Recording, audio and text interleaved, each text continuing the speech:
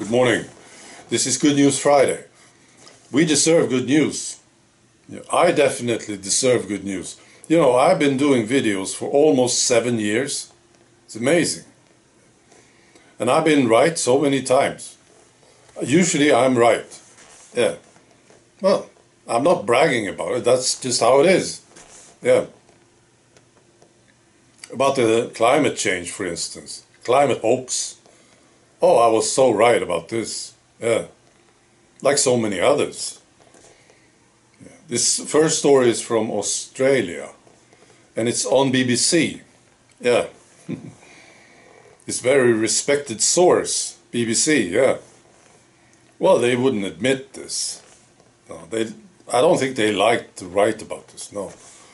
Anyway, so the, it's about the corals in Australia, the coral, the Great Barrier Reef. You know, you know they said it's uh, dying, yeah, because of climate change. Hmm. Now they say this coral has recovered to record levels across much of the Great Barrier Reef. The reef's northern and central parts have the highest amount of coral cover since monitoring began 36 years ago. Yeah. Now they can't be all positive about it. In the on the BBC they say, "Oh, this new coral it's very vulnerable." yeah. But it's bigger than ever. Yeah. Yeah. so whatever you said about the coral, the, the, the reef, you, it was misinformation. Yeah, it was. It was fake news. So I'm now fact checking you. You were wrong. You were lying or something. Yeah. Right. The next story is from Sweden. Uh, you know, this girl, nine year old girl, that was raped. Very tragic story. She was raped and almost killed in the town of Skellefteå. Uh, the suspect is from Ethiopia, and they said that he was 13. And then the prosecutors, prosecutor said, no, we have doubts about this. We, are, we need to check it out. Yeah, that's what they did. And they found out that he's older. He's at least 15 which means he can he can be sentenced. This asshole, this total. I don't know what to say about this guy. Anyway, and the parents they admitted, you know, when they came to Sweden to register, they wrote the wrong date, the, the wrong birth date on the guy. Yeah, by accident. Yeah, right. So now he can be sentenced. Now I suspect that they want to protect him also, yeah. This is part of it. If they can sentence him, maybe people will calm down. There's a lot of people who are upset about this guy. They want to get to him in this town, you see.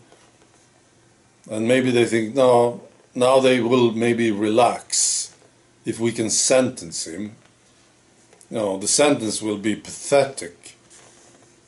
Yeah. I, I hope somebody will get to this guy. Yeah. Right, this is from Denmark. Bad news for Bill Gates and his friends. Denmark, they are stopping the tea for kids under the age of 18. Yeah. I'm sure Bill Gates, he doesn't like this. I'm sure of it.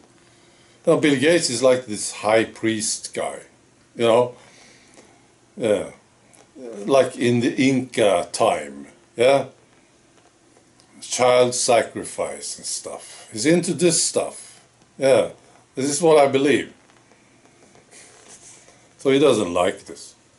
So why do they stop it in Denmark, you think? I thought it was safe. Yeah.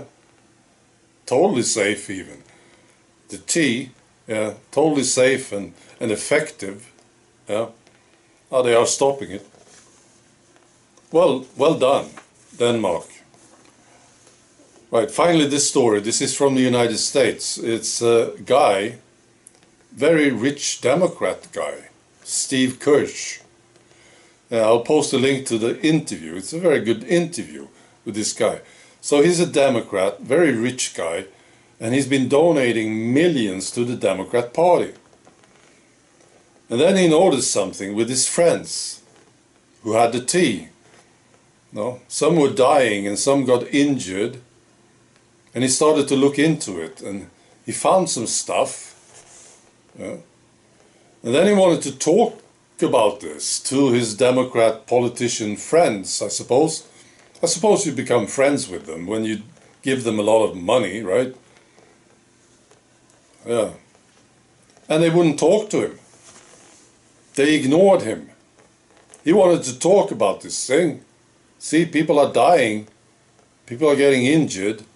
He had all these facts and statistics. Nobody would listen to him in the Democrat Party. So he got pissed off. I mean, really pissed off. Yeah, just listen to him. And then he went public with it. It's great. All right.